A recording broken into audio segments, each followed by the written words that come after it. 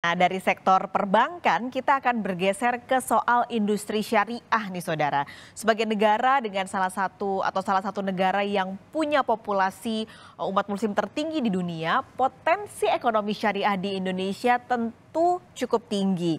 Kondisi ini membuka peluang untuk produk-produk ekonomi syariah bisa go global dan akhirnya bisa mendukung pemulihan ekonomi nasional. Nah, sebagai upaya mendukung ekonomi syariah, Bank Indonesia akan menggelar Festival Ekonomi Syariah. Nanti digelar di tiga wilayah yaitu Jawa, Sumatera, lalu juga di kawasan timur Indonesia. Pagi ini kita akan bahas lebih dalam bersama Kepala Perwakilan Bank Indonesia Provinsi Jawa Timur, Budi Hanoto. Halo Pak Budi, selamat pagi. Halo, selamat pagi Mbak Bakali. Oke, Pak Budi ini kita bahas lagi soal Festival Ekonomi Syariah terutama untuk di Jawa dulu. Kita bicara secara umum industri uh, syariah. Karakteristik uh, Jawa kita tahu Pak, ekonominya pusat kegiatan manufaktur, lalu juga penduduknya besar dan kultur keislamannya juga cukup baik. Nah, Pak Budi melihat potensi perkembangan ekonomi dan keuangan syariah di Jawa dan juga khususnya Jawa Timur seperti apa Pak Budi? Baik, uh, Bank Indonesia kan sebentar lagi mau menyelenggarakan uh, festival ekonomi syariah yaitu uh, di, dipusatkan di Surabaya. Nah, memang ini sebuah rentetan, rentetan kan. Kalau dilihat Jawa sendiri, memang penduduknya sangat besar, potensinya besar penduduk muslimnya juga besar. Pesantren pesantrennya jumlahnya juga besar. Nah ini membuat kita PE memiliki suatu upaya dan komitmen untuk mendukung pengembangan ekonomi syariah ya. Nah, BI kemudian menjalankan festival yang tadi Mbak sebutkan bahwa uh, di kawasan timur Indonesia di Makassar dan uh, di Sumatera di Aceh dan sekarang peaknya puncaknya pamungkasnya di Jawa Timur. Gitu Mbak. Oke, jadi ada tiga, salah satunya juga di uh, Jawa yang dipusatkan di Surabaya. Tapi kenapa memilih Jawa Timur sebagai pusat pelaksanaannya, Pak? Ini uh, apakah memang melihat uh, kotanya cukup modern, lalu juga tingkat pendidikan yang cukup baik? Uh, apakah memang pemahaman masyarakat soal ekonomi dan keuangan syariah saat ini sudah mumpuni dan semakin meningkat, Pak Budi? Uh, baik, mengapa Jawa Timur? Karena memang jawa timur memang eh, sebuah sentra penduduknya banyak eh, islam ya dan juga kalau nggak salah 85 persen lebih ya dan juga pesantrennya itu sekitar 6 ribu ya 6 ribu pesantren dan jumlahnya santrinya hampir sejuta loh gitu sehingga ini potensi besar kekuatan ekonomi dan ingat pesantren itu bisa sampai pelosok-pelosok hmm. sehingga memang inklusivitas ekonomi terus kita uh, uh, dorong di sini melalui uh, uh, ekonomi syariah gitu. Kalau literasinya bagaimana Pak? Oh ya, kalau literasi itu mungkin ada dua ya kalau kami lihat ek, uh, untuk eko, keuangan syariah dan ekonomi syariah. Kalau keuangan syariah menurut data OJK itu sekitar baru 9 persen ya, artinya dari 100 penduduk sembilan orang yang uh, paham mengenai keuangan syariah. Hmm. Nah, sementara kalau ekonomi syariah itu agak lebih bagus, ya. pengetahuan mengenai apa uh, halal haram dan seterusnya ya, zakat, infak dan seterusnya itu mencapai 20 persen ya, dan itu bagus. Dan tapi kita melihat gap itu perlu kita uh, melihat bahwa itu sebuah potensi bahwa edukasi, literasi ya terhadap ekonomi dan keuangan syariah perlu kita programkan lebih terstruktur dan juga uh, sistematis gitu sehingga uh, memang uh, peran dukungan ekonomi keuangan syariah itu patut menjadi sebuah sumber pertumbuhan ekonomi baru perekonomian gitu. Hmm, karena kalau tadi Pak Budi jabarkan datanya kan juga sebenarnya uh, potensinya besar ya. Tapi apa yang sudah Bank Indonesia lakukan uh, Pak Budi untuk kebijakan lalu juga inisiatif terutama untuk mengembangkan potensi tadi ada ekonomi syariah dan juga literasi syariah di keuangan di Pulau Jawa dan juga di Jawa Timur ini Pak? Uh, Macam-macam ya. Bank Indonesia itu uh, mempunyai satu platform yaitu AIR mengakselerasi eh, pertumbuhan ekonomi syariah dan menginovasi pertumbuhan ekonomi syariah dan terakhir regulatorinya eh, apa namanya pengaturan pengaturannya dan di sini kami melihat beberapa eh, faktor ya di kalau untuk mendorong ekonomi syariah macam-macam. Kita ada pendekatan yang institusional dan juga ada pendekatan yang bisnis. Nah, di sini ada semacam kami membentuk sebuah happy trend.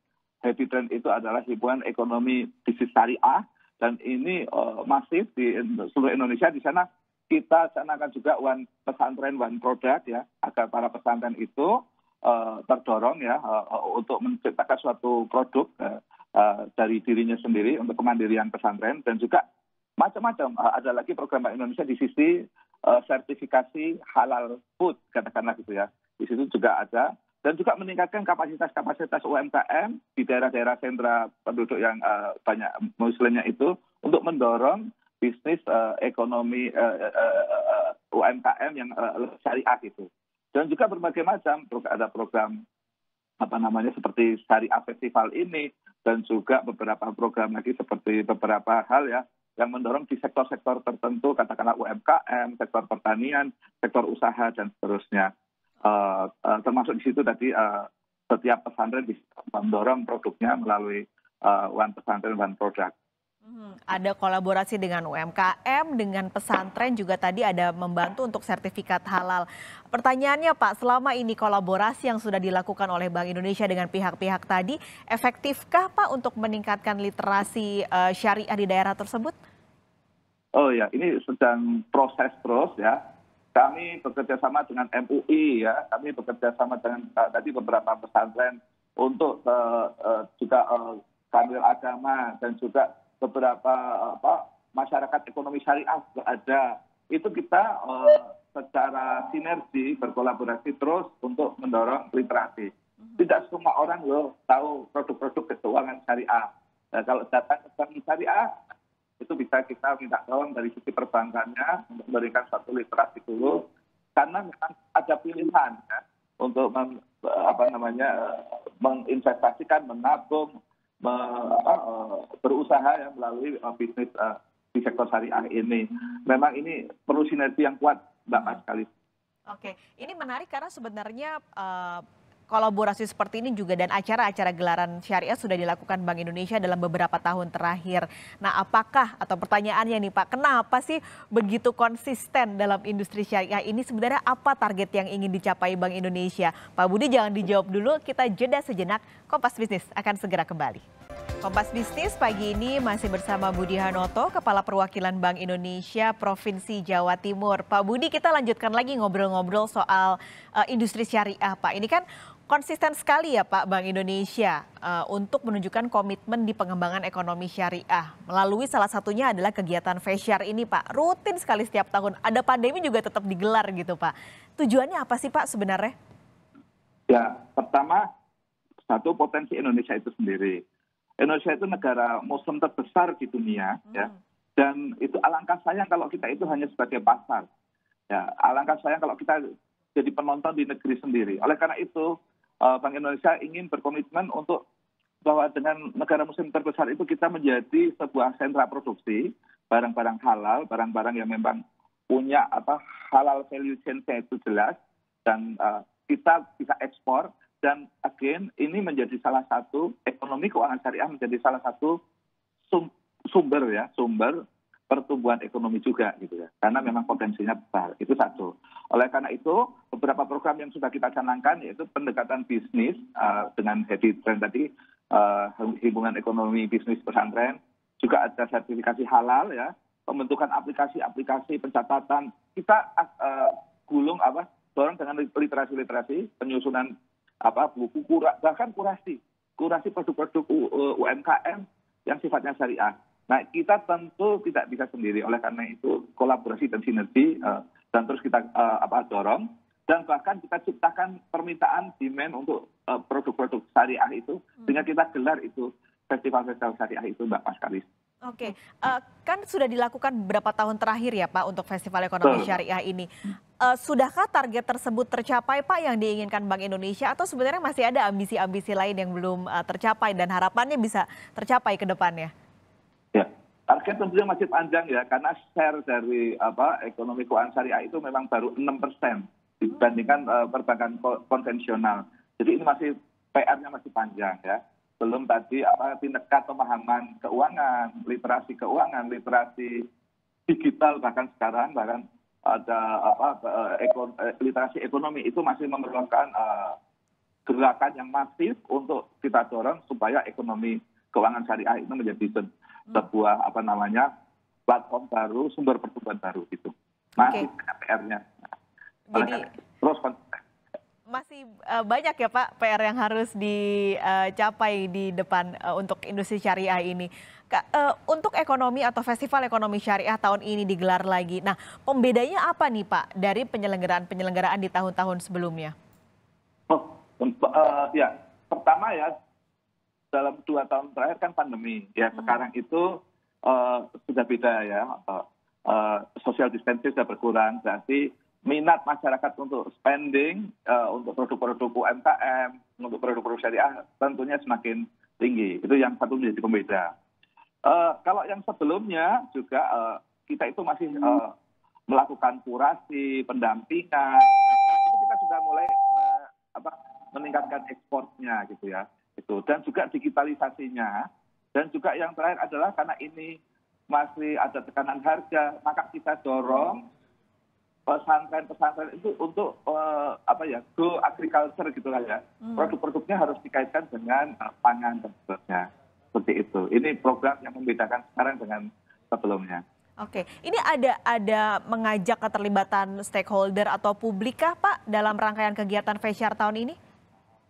Oh iya, uh, seperti sama mulai dari apa namanya masyarakat ekonomi syariah, perbankan syariah, umkm umkm syariah pesantren pesantren ya.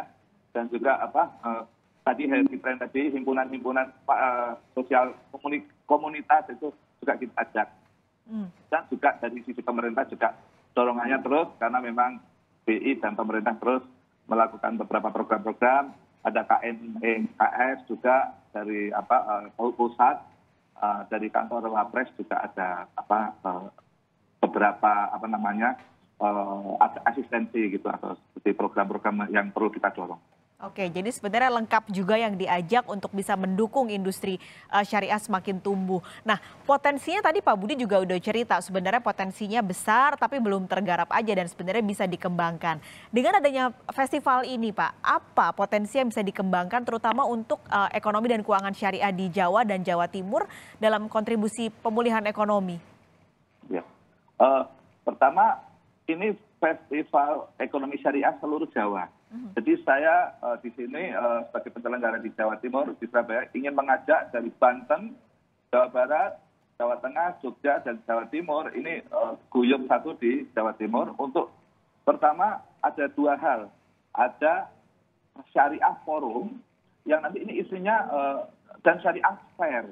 Syariah forum itu isinya berbagai macam, ada talk show, seminar, mendatangkan pakar, coaching, bisnis matching ya, supaya antara demand dan supply-nya ketemu, antara penjual dan pembelinya ketemu di situ. Nah itu yang pertama. Yang kedua adalah festival uh, uh, uh, syariah fair. Syariah fair itu lebih pada showcase ya, gerai-gerai situ. Ada juga perlombaan dan seterusnya yang sifatnya fair. Nah ini untuk menggelurkan uh, uh, semangat spirit uh, untuk kita aware dan uh, apa namanya uh, cinta terhadap produk-produk ekonomi, uh, uh, uh, ekonomi dan keuangan syariah. Nah di sini uh, siner, uh, sinergi ekonomi keuangan syariah untuk pemulihan ekonomi seluruh Jawa yang inklusif itu menjadi uh, tagline kami gitu kira-kira. Dan semua energi kita arahkan ke arah sana dan oleh karena itu di sini nanti ya kalau teman-teman uh, uh, yang ikut uh, hadir baik offline maupun online di kita menyelenggarakannya di tunjungan plaza mbak Pak sekali. Jadi ini uh, pertama untuk menciptakan demand lah ya untuk produk-produk syariah sehingga uh, uh, lebih banyak lebih siar ya me, me, memasarkan dan di sini nanti beberapa macam ada UMKM yang go global, UMKM yang go digital, dan UMKM yang go agriculture. Ini semua kita bungkus dan juga apa untuk mendorong minat masyarakat demand-nya itu supaya muncul ya. kita selenggarakan di tunjungan bahasa. Oke, semoga acaranya berjalan baik Pak untuk Fasyar tahun ini Terima dan kasih. tentunya harapannya bisa ikut mendukung pemulihan ekonomi uh, di Indonesia yang sedang terjadi saat ini. Pak Budi terima kasih banyak sudah bergabung di Kompas Bisnis pagi ini. Sehat selalu Pak Budi.